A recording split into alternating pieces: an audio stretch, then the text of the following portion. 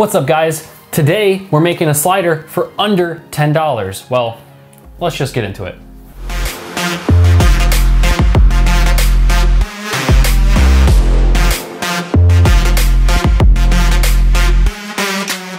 All right, so let's first get into the things you will need. Screwdriver, uh, preferably a Phillips head. Uh, you're going to need a PVC cutter um, or a saw or razor blade, something sharp to cut PVC with. A drill with some drill bits, that's kind of it. Now let's get into what you're going to need uh, piece-wise for the actual parts of the slider.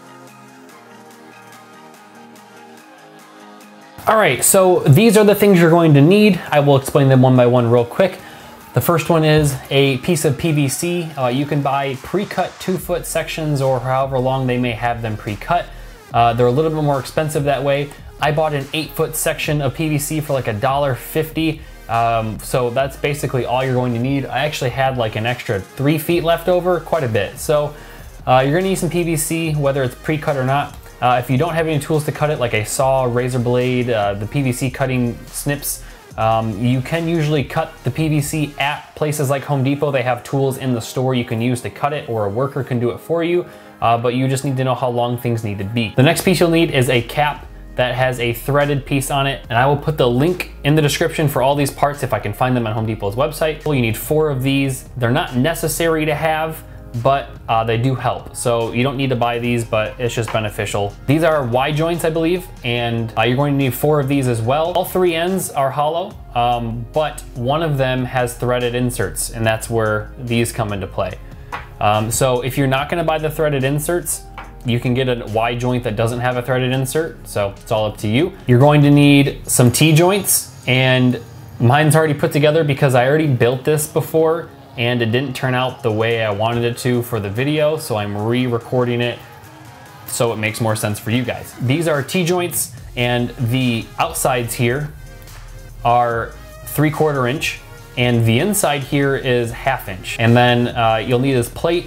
Uh, you can use literally any plate you want. This one was only a couple of dollars, maybe even if that, maybe even like 68 cents, I think. Um, but it's just a cheese looking plate. Uh, there's some holes in it and uh, it doesn't need to have holes in it. You can make your own with a drill uh, if it's just a flat piece. Uh, or you could use a really thin piece of wood or plastic or cardboard, literally anything that's pretty sturdy. So just see what you got laying around. And then we're gonna need a bolt. This bolt is for your tripod head. So you're gonna need one that fits the tripod. I believe this is 3 8 16 thread. So that's what's gonna fit in the bottom of your tripod head, uh, if you have one, or if you are screwing straight into your camera, you're gonna need to, I believe, get half inch 16 or half inch 20 thread. Yeah, so that's what you're gonna need. I got two bolts to go with it as well, and you'll see why in a little bit. Um, depends on the length you get for the bolt, and that's why. And then lastly, just two common screws that can drill into the PVC. Um, most likely a coarser thread would be better, uh, just because we're not pre-threading a hole and we're kind of just drilling straight in. Now that we have everything that we need, uh, let's start get into how to make it. All right, so first things first, I'm the realist. First things first, I'm the realist. realist. This is where you're probably going to have an eight foot section or pre-cut section. And this is where you get to make decisions. I made mine roughly two feet long uh, and I added like a couple inches on each end. And that is because when you put the Y joint on, you'll lose about an inch for it to go inside the Y joint. So uh, I did about two feet, two inches. You can pick any length you want for this. However, just keep in mind it is PVC. It does bend at longer lengths, um, but if you do go any longer, you're probably gonna have to make your own modifications so that the slider still works. Pick your length. I picked two feet, so then I cut two two foot sections out of my PVC, and that's the first step. Let's get into the next step, number two. Uh, number two is to figure out how wide you want it to be, uh, which really for me depended on the width of my plate here. You cut two of them out, roughly the same length. You're going to place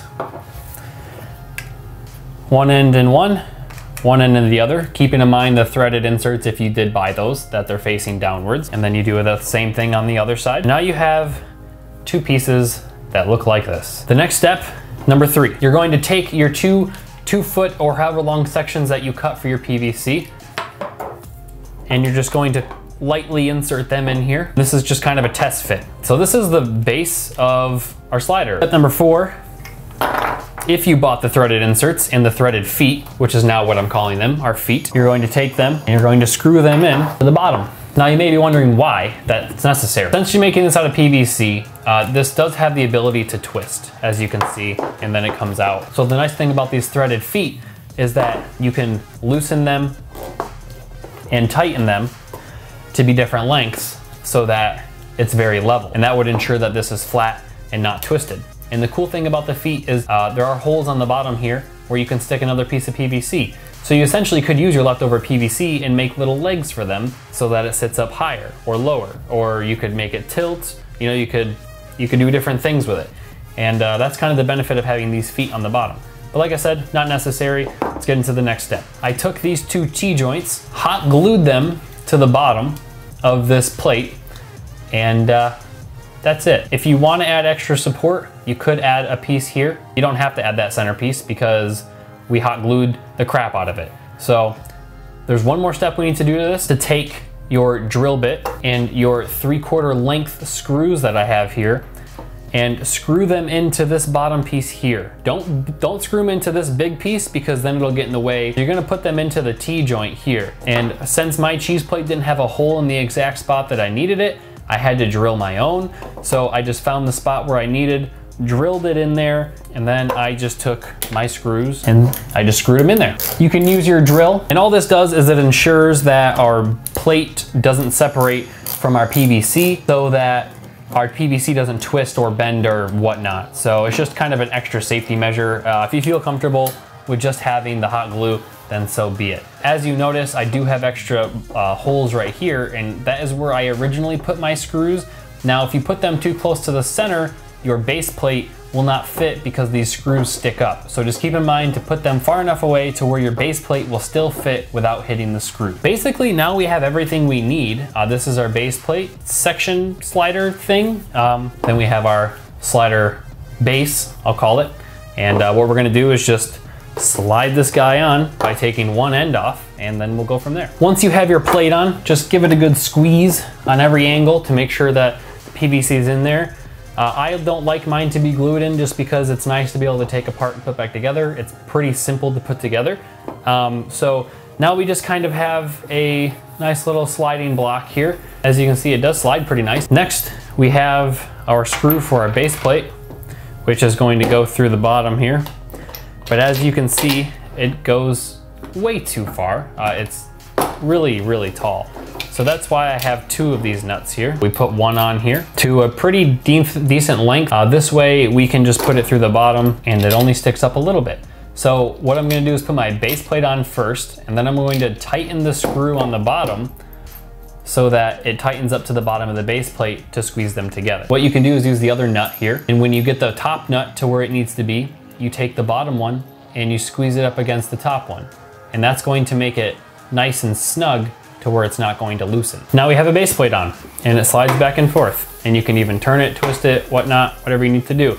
It's a little wobbly, which is an issue. So we're gonna fix that with some string. It's gonna take some string, twine, whatever you have laying around. You don't even have to buy it. Uh, you can take the slider head off of the base so that it's easier. So we're going to take a random length piece of string. I did pretty long. Go through one side here.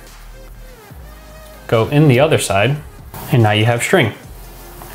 So I'm gonna put this back on, connect the end, and now you have random string. So this does two things. One, it tightens up the gap a little bit so it doesn't wobble as much. And two, it'll give you a nice and steady pull on your slider so you can have nice and smooth movement. I recommend using the string because it's not as smooth without it. Using just your hand is really not the best.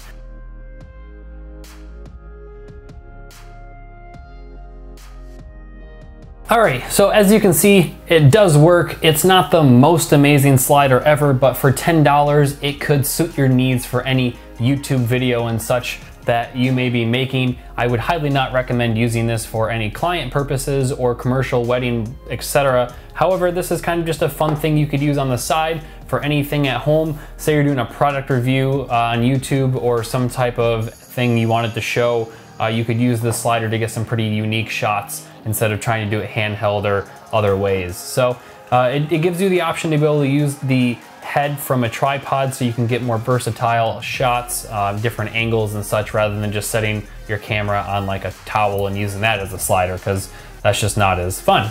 Under $10, um, not including the head obviously, but hope you enjoyed this. Uh, if you do, feel free to hit that thumbs up button if you want to see more videos like this because there are more coming out because I'm going to make a series about camera equipment. You know, the engineering side of me is popping out and then we'll see what we can do from there. And eventually we'll be able to make film equipment that you can use on wedding or commercial shoots that doesn't look super jank like a piece of PVC built one. So please hit the subscribe button if you want to see more like this because I love doing this type of stuff. And uh, I'll see you on the next one.